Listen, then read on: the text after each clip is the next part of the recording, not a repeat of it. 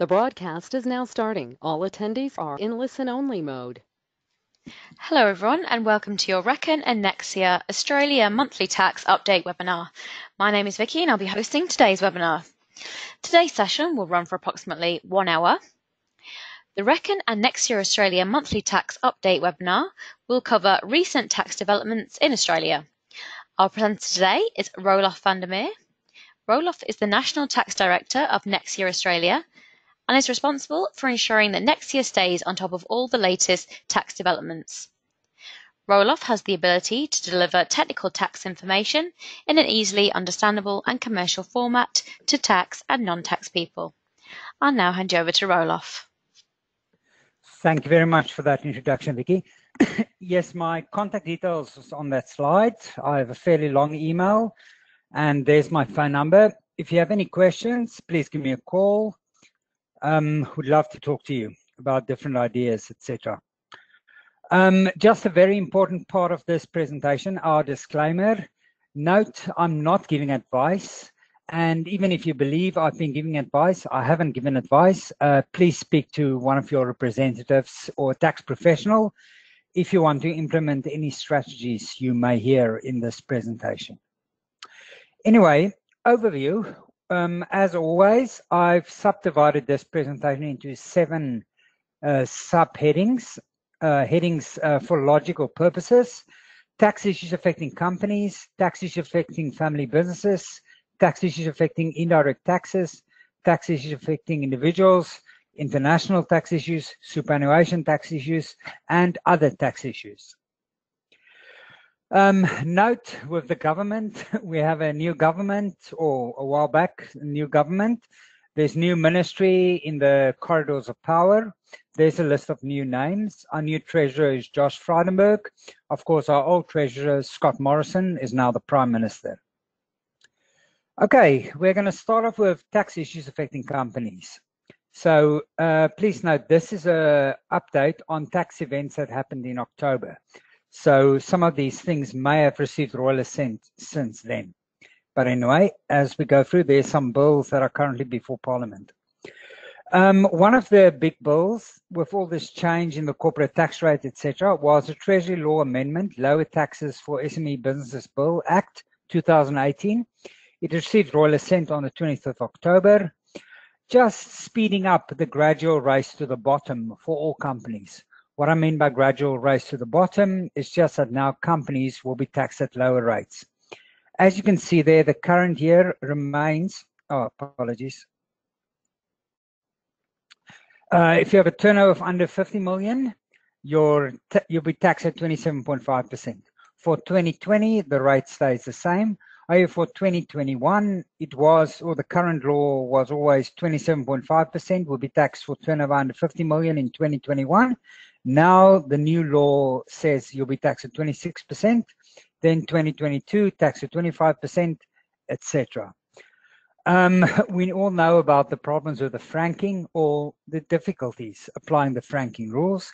So it'll be very interesting to see how we all adjust the franking credits, etc. Family business tax issues. There's some bills that are currently before Parliament. Uh, one of the very important bills that have since received royal assent on the 3rd of October 2018 deals with small business CGT concessions. As you know, um, we have a lot of SME clients, so this is particularly relevant for these kind of clients.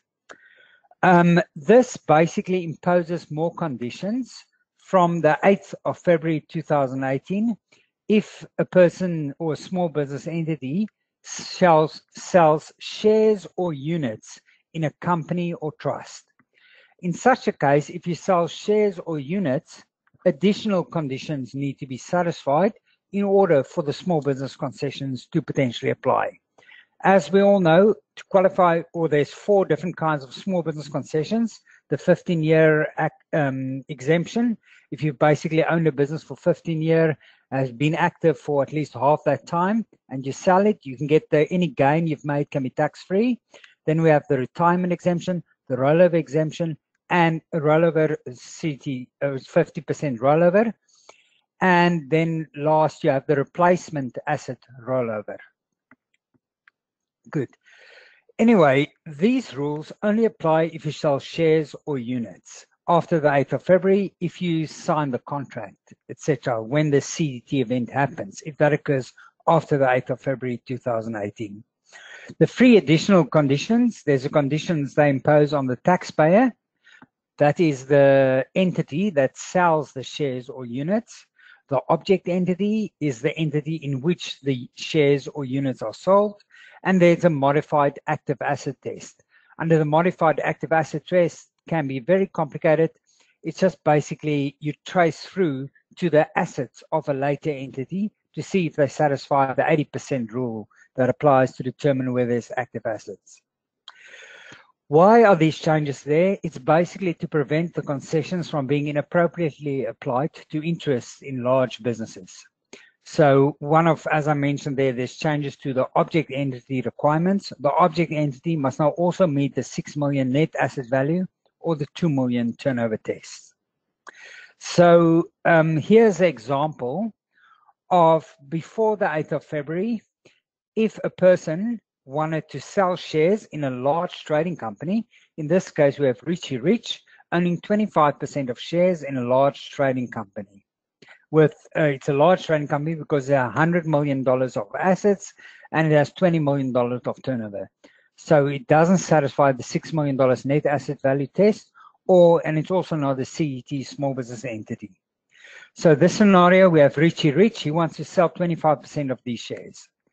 If he tries to apply the small business CGT concessions at the moment or before the 21st of February, it wouldn't succeed because um, Richie Rich itself is not a CGT small business entity or satisfy the 6 million net asset value test. So Richie Rich thinks for himself and he comes up with the following solution. He buys a CGT small business entity corner store in his own name. The turnover of the corner store is only 500,000. Now, Richie Rich is a sole trader with a turnover under $2 million, so qualifies as a CGT SBE. Under the old rules, before the 8th of February 2018, he sells. There's only a requirement to check whether the taxpayer is a CGT SBE so Richie Rich is because he sold the corner store. Um, he sells it in a huge company. It doesn't matter. He does qualify.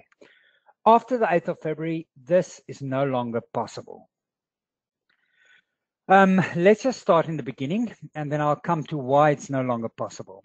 So the basic conditions to qualify for CGT small business concessions the taxpayer, that's Richie Rich in the previous example, must be either a CGT small business entity or a partner in a CGT small business entity partnership. On its own, Richie Rich is not a CGT small business entity, but having bought the Quickie Mart or the corner store in its own name, he's become a sole trader with a turnover under 2 million. So tick, he satisfies the first condition. Or the taxpayer satisfies 6 million net asset value test.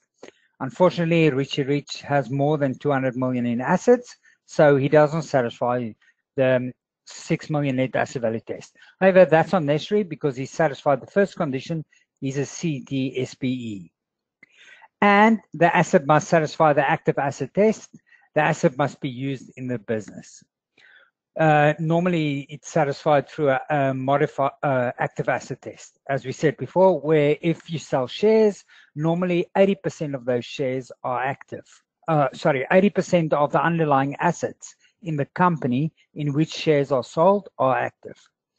Then there's also certain concession specific conditions that need to be satisfied, depending on whether you go for the 15 year exemption, the retirement exemption, CGT rollover, etc., whatever concession you go for.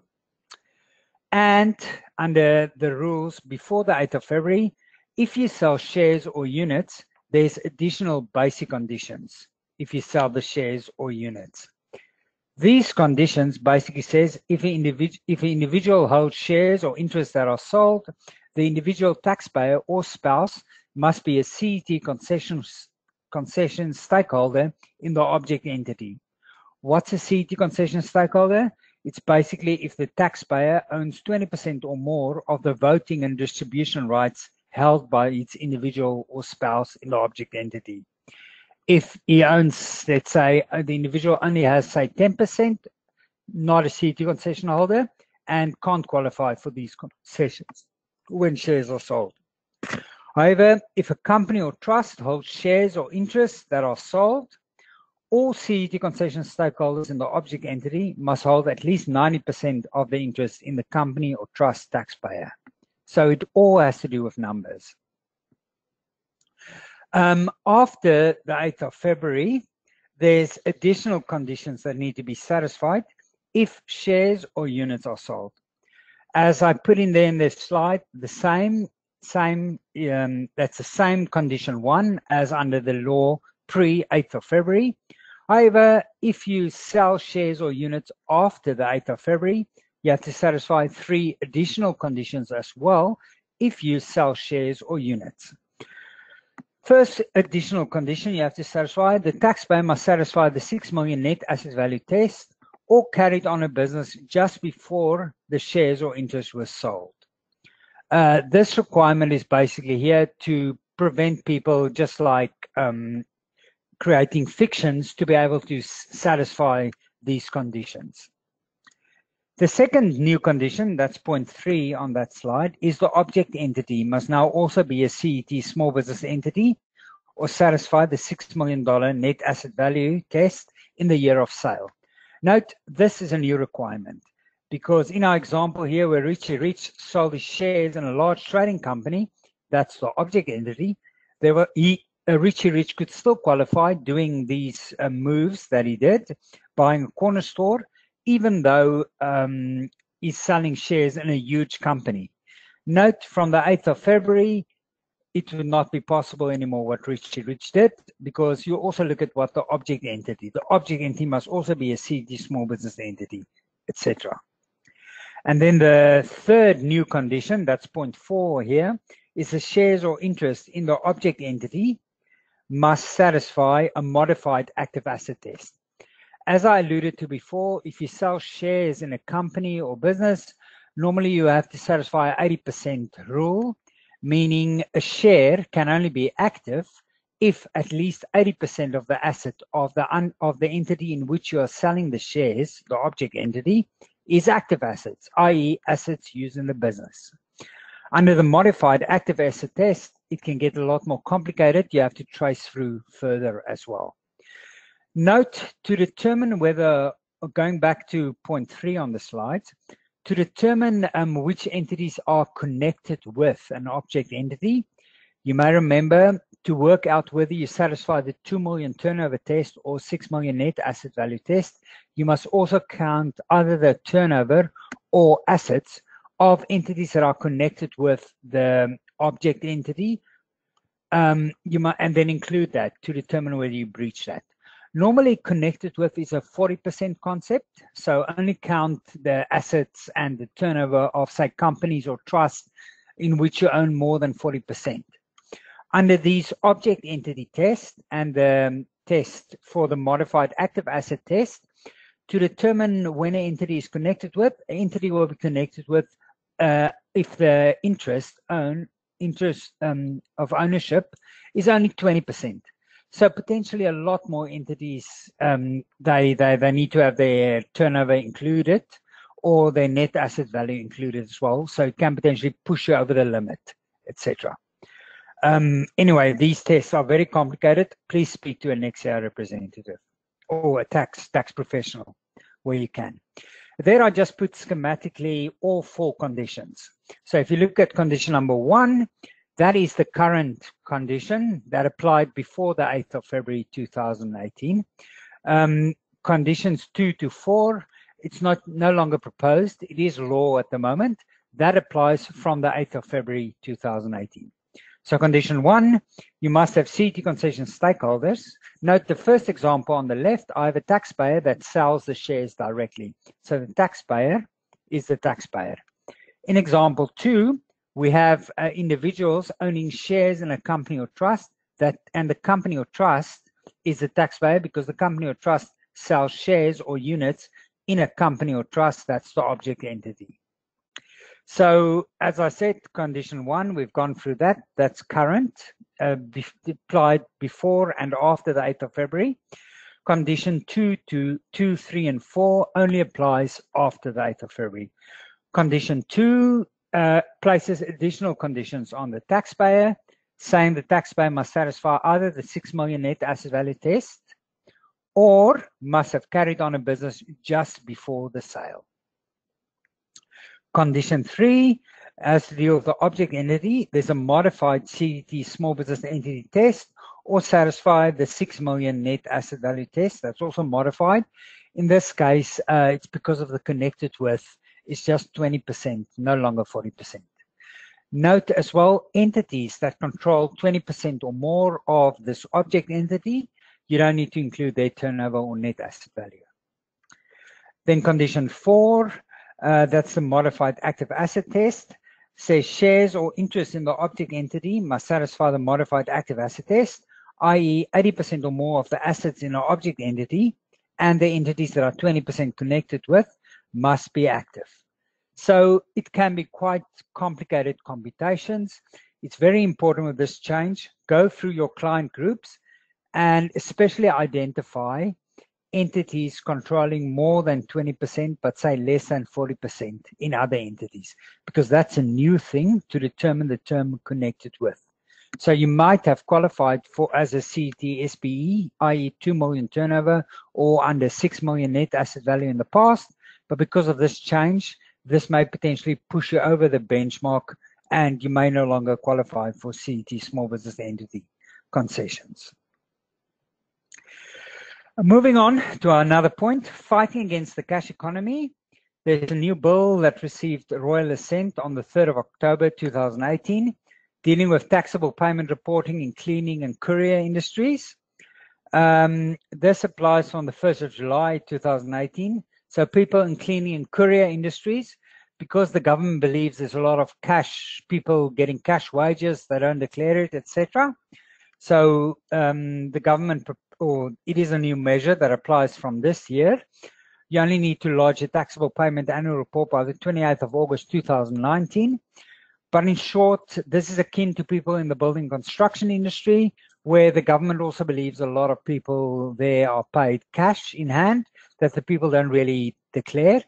So it's basically using data matching and uh, making sure that people in the building construction industry, say employers, they lodge a taxable payment annual report by the 28th of August to the ATO, and then the ATO can compare what these people have allegedly paid their employees versus what their employees, or let's say contractors, contractors probably a better word, not employees, what the contractors have actually declared as receipts on their receipts of cash for doing work in the building industry or cleaning and courier industries in their tax returns. And if there's any problem, um, the ATO will definitely follow up and audit them.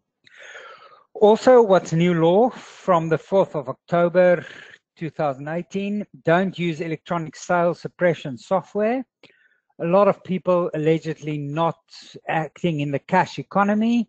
They say they have a BPay machine, etc., but they also bought a you know, electronic sales suppression software um, that, you know, hides the transactions from a computer. Um, the ATO also says, you know, the penalty, if you supplied such a sales suppression software, you'll get five-year jail or 5,000 penalty units. If you use that, you'll get two-year jail and 500 penalties, and it applies from the 4th of October 2018. Other issues dealing with the cash economy, no more tax deduction on, or on contractor or wage payments if no withholding. This has since become law.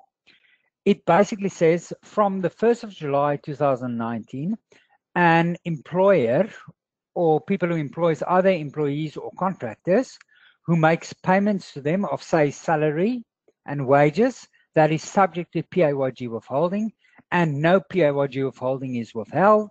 In such a case, normally the employer just claims a tax deduction for salaries paid. But if the employer did not withhold according to PAYG, then the employer can't claim a deduction. Point number four, taxable payment reporting to road, freight, IT and security providers. It's exactly the same rationale as the taxable payment reporting, cleaning, courier industries, as well as to building construction industry. So it's also about the taxable payment reports on the 28th of August each year so that they can compare what was allegedly paid versus what the contractor reported in the, in the contractor's tax return. Uh, there's a bill that received royal assent dealing with the immediate deduction for fodder storage assets. You get an immediate write-off for fodder storage, for example, silos or grain storage sheds, if the fodder was installed or ready for use from the 19th of August 2018. It replaces the current three-year write-off that exists for fodder storage assets. Anti-avoidance rules for circular trust distributions. As you may remember, in this year's budget, they proposed uh, and they that they that they will address this issue. The government has started and they've released draft legislation on circular trust distributions. These anti-avoidance rules applies or is proposed to apply because currently uh, the anti-avoidance rules only apply to closely held trust distributions. It's proposed to extend these anti-avoidance rules to family trusts from the 1st of July 2019. Just for some background, how does the currently closed health circular trust distribution rules work? Currently, the circular trust distributions can lead to non-tax payable if family trust is in a round robin agreement. Because current family trust excluded trust, it's not counted as a closed held trust, so it's not subject to these rules. However, these rules will change this. And yes, they, they, they hope to catch these round robin agreements. Uh, it's still only an exposure draft. Uh, once we have more details, we'll update you accordingly. Uh, there's been draft legislation on another budget proposal to disallow deductions for vacant land. Basically, this is proposed to apply from the 1st of July 2019, regardless of when land is acquired. So it's basically to normally, as you're well aware, if you have an investment property, you want to deduct the expenses on the mortgage payments, etc. With this proposal, they want to prevent people of deducting expenses only if it's vacant land. Um, note is these restrictions will not apply if outgoings is incurred by property developers, primary producers, corporate tax entities, superannuation funds, or unit trusts or partnerships. Note, this is only draft legislation. Um, once there's a bill out, we'll be able to talk a bit more on more details. Another um, budget proposal that's now draft legislation deals with partnership may lose access to small business CGT concessions. They want to make it more difficult for partners to access small business CGT concessions basically if they assign their interest to future partnership income to an entity not involved in the partnership. Small business CGT concessions are only available on a transfer of membership interest. There'll be no concessions if you transfer income or capital that a partner receives from partnerships to other non-partner entity. There's also been an exposure draft on modern, modernizing business registers and director identification numbers. Uh, ASIC have cut down there exist 31 existing legal registers to a single platform with the ATO to be administered by the Australian Business Registrar. Director identification numbers, it's basically to enable these government agencies to check for unlawful and Phoenix activities. Some of the formalities, the new director needs to apply for a director identification number within 28 days, and existing director have 50 months to apply from when the new requirements start. It's all to prevent basically Phoenix activities where directors on purposefully um, they vanquish their companies or liquidate their companies so as not to pay superannuation guarantee or outstanding tax debt to their to first the employees and then to the ATO. But then it starts a new company in a different guise. So it's like a phoenix that rises up from the assets. With this director identification number provisions, they're trying to hold such directors personally liable. That's the whole rationale for these changes. Um, yeah, some quite a big development. Proposed changes to Division 7A from the 1st of July 2019. Government released a consultation paper on the 22nd of October 2018. Please note, um, I wrote um, a response, a submission. Uh, Nexia Tax Group, we wrote a uh, submission on this discussion paper to Treasury. It should be available on the Treasury website. Normally they release all these submissions because it's public knowledge. But anyway, um, you can read that. It's about six pages, so it's not a long. It's a, it's a. We wrote it quite condensed, uh, focusing on important issues. Should be relatively easy to follow. But I'm just giving you a broad overview here. What what what what the suggestions are in the what they want to do to Division 7A. Note they propose these changes from the 1st of July 2019. Today it's the 10th of December 2018. We have an election coming up that must be held before May 2008 2019. I don't know how government will pass um, this legislation. It will still need to go through different houses of parliament, etc. If we have a change in government or election, reconstituted cabinet, etc. Don't know um, how efficient will be for time. Um, but anyway, as it is currently, it's supposed proposed to apply from 1st of July. Um, only time will tell when the real date will be. Anyway, what they propose in these papers is simplified loan rules. They want to uh, replace a single 10-year loan. They want to repl replace the current seven or 25-year loan agreement. 25 year if you can secure the loan by property, seven year if you charge the benchmark interest rates, etc. They want to replace that with a 10 year loan. There are transitional rules, uh, quite complicated how it applies. I'm not going to go into a lot of detail because it's just a consultation paper and I'm sure there will be changes, etc. But for more detail, you can look there or you can give me a call if you want to know more details or you can read our submission. For UPEs, um, as you're well aware, currently um, UPEs before 2009 will remain UPEs. UPEs after 16 December 2009, they're either a UPE if you put it on the subtrust op option, or it becomes a loan if you do nothing. If it becomes a loan, you'll have to put it on seven year or 25 year complying loans, etc. The government want to get rid of all that UPE stuff Okay, um, note UPEs before 16 December 2009, they've inquired on those. So we assume that will remain UPEs as is. You must just watch out for subdivision EA. However, UPEs after 16 of December 2009 will now just be deemed to be loans. So the idea is all these loans, unless you put it on a complying agreement, that will be a 10 year agreement now under the new rules, you'll be subject to a deemed dividend. Third important issue, self-correction for inadvertent breaches. Currently, you must apply to the ATO to disregard or frank a dividend if you believe you've you know, made a unintentional mistake. There's a proposal you should self-assess the eligibility for relief to reverse the effect of prior Division 7A deemed dividends. Um, so it's all self-assessment. You no longer need to get the commissioner involved, etc sounds great in practice, but what if someone messes that up? Um, how will the ATO react, etc. There's also, a, they propose a safe harbor for asset use because use of an asset, as you're well aware, um, is a payment.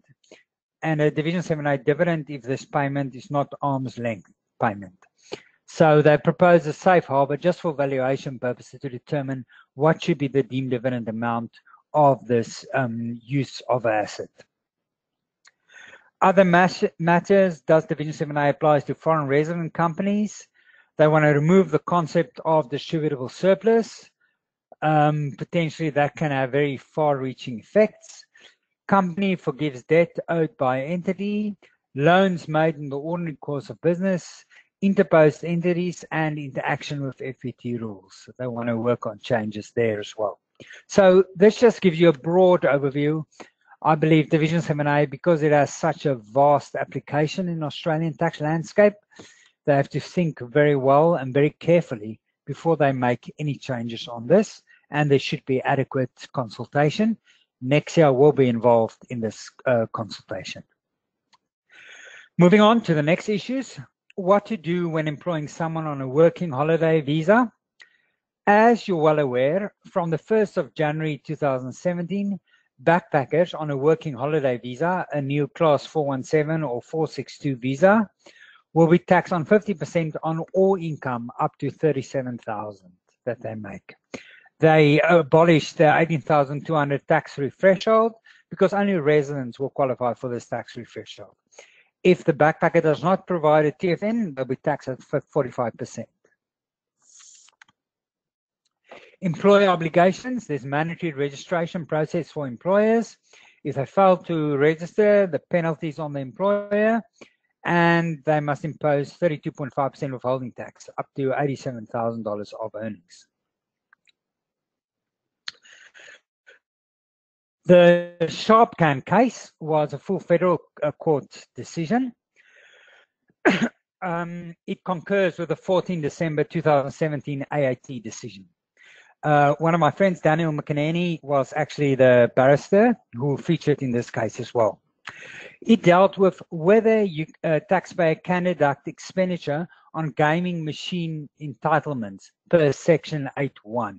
It's all to do with the capital and revenue distinction. Um, basically, in this case, there was a deferred payment for gaming machine entitlements that you had to pay to the, I think it was a Victorian case, to the Victorian state to be able for a pub to have gaming machines in the pub. The previous year treatments of gaming machine entitlement expenditure was basically before 2016. This was deemed to be black hole expenditure, uh, basically capital and deductible over five years. In 2016, it was held to be capital expenditure, or that's what the IATO thought.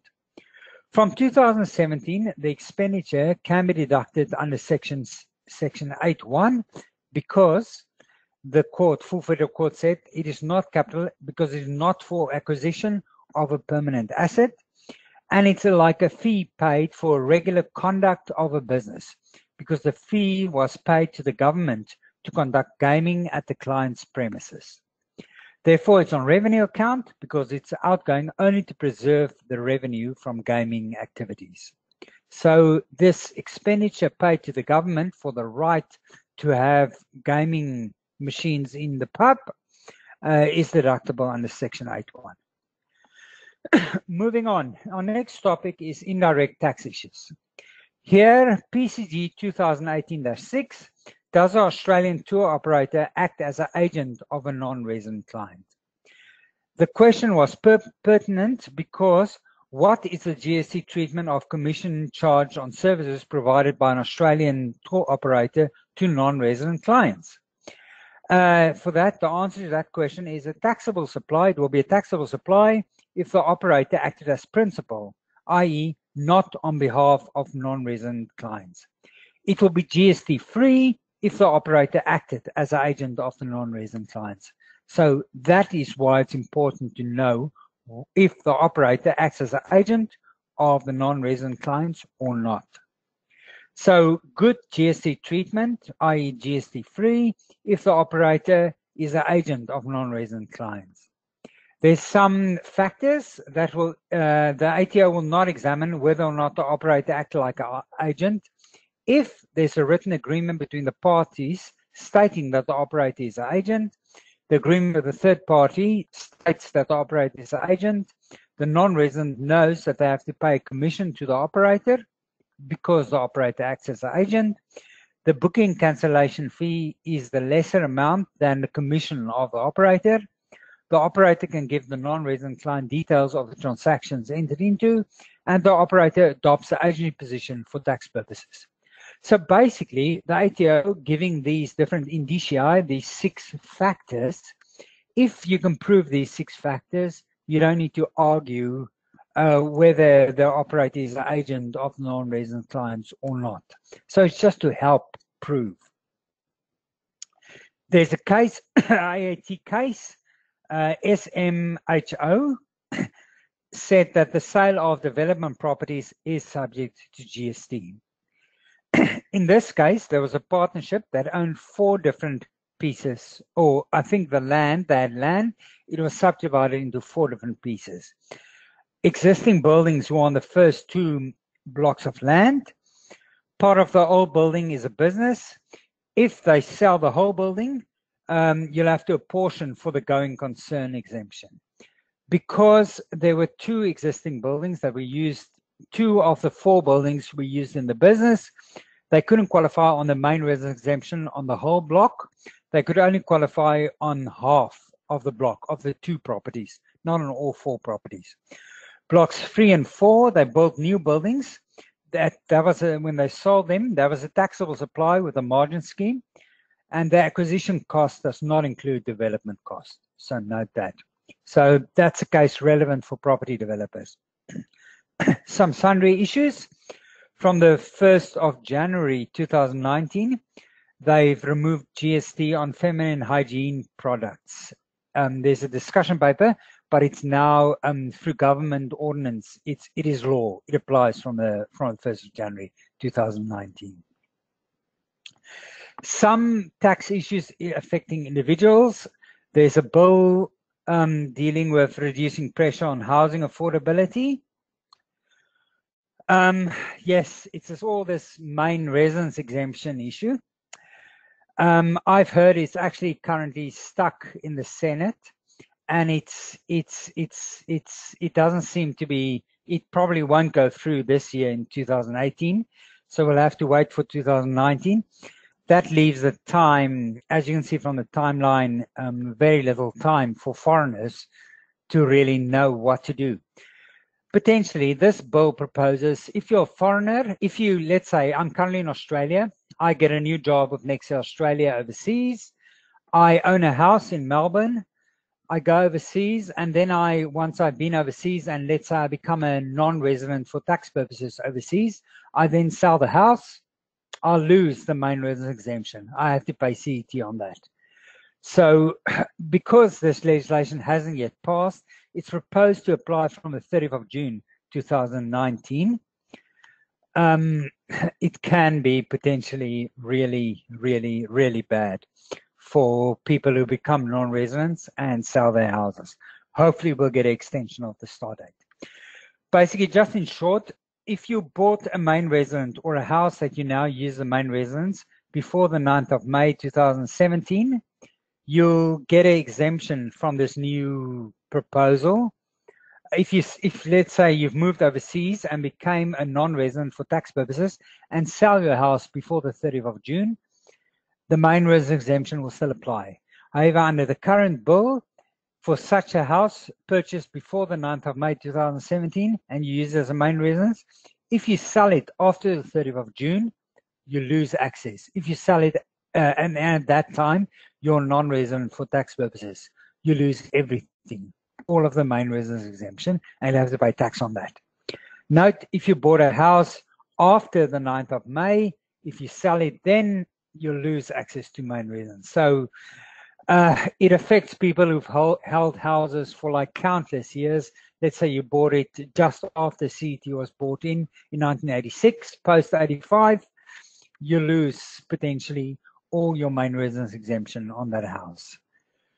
As I mentioned, it's stuck in Parliament at the moment, um, and there's some there's a lot of kickback against this proposal. Only time will tell um, whether they will do that. Um, the residential rental properties. Note um, travel deduction changes from the 1st of July 2018. That was last year, as well as going forward in this year. If you go to your holiday rental to inspect it, you can no longer claim travel deduction costs, etc. Note, a reminder, don't include non-deductible travel expenses in your cost base or reduced cost base of the rental property. Why mention it here is just because they released a new LCR 2018-7. Residential rental property travel expenses, some of the issues discussed in LCR 2018-7 Residential premises, what is it? It's land or buildings capable of being occupied as a residence for residential accommodation, uh, something that's fit for human cohabitation, a shelter and basic living facilities. and premises may be used in a number of forms.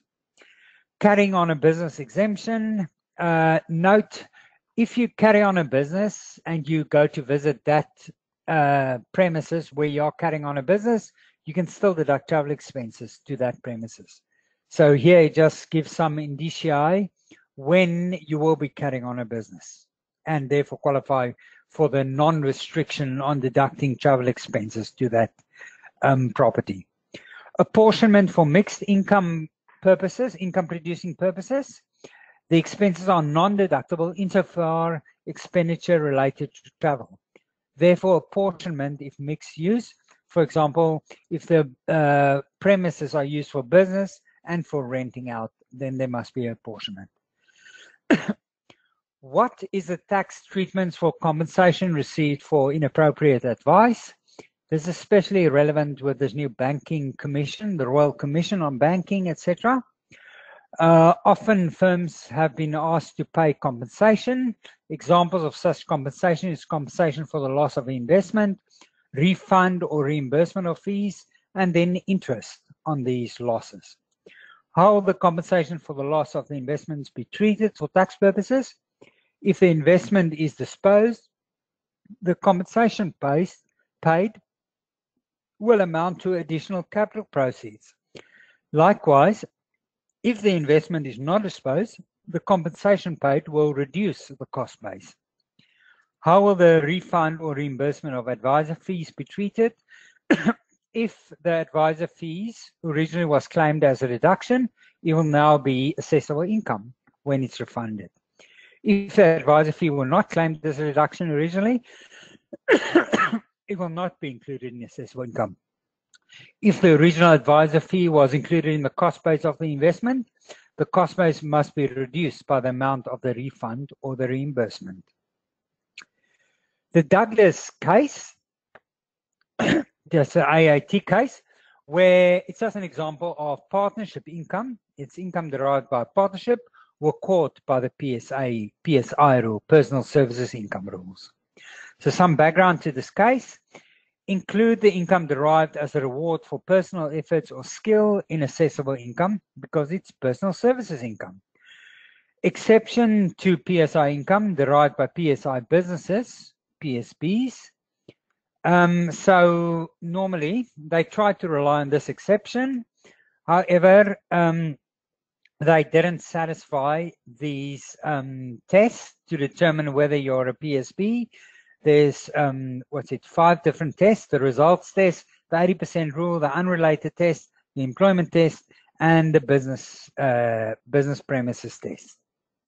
So in this case, there was a labor hire firm and an engineering partnership. The business income was split equally between the taxpayer and the spouse. Basically, the court held, or the AAT, that uh, the income from this engineering partnership was subject to PSI because they failed the result test, because less than 75% of the income derived by this partnership was for producing a result the income received was for work done and not for producing a result. So the Douglas case deals with PSI income.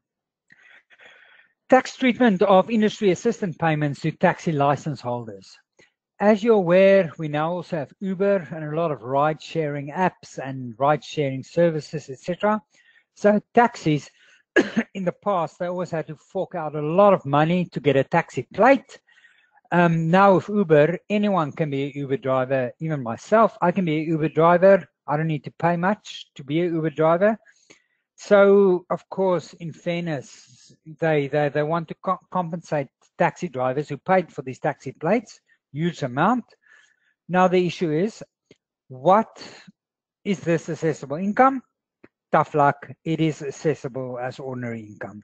There's no CGT discount these payments or the, the receipts are not capital because the payments is not made in exchange for taxi license holders giving up or selling their taxi license plate or selling their taxi driving business. Note this payment, luckily there's no GST consequences on making such a payment. Some sundry issues affecting individuals. Labour's proposal to clamp down on unsubstantiated travel allowances to tax havens. If you don't have a tax agent, you have to lodge by the 31st of October. However, if you have a tax agent, uh, you can do it later. Note the tax debt need to be paid by need to have been paid by the 21st of November. International tax issues.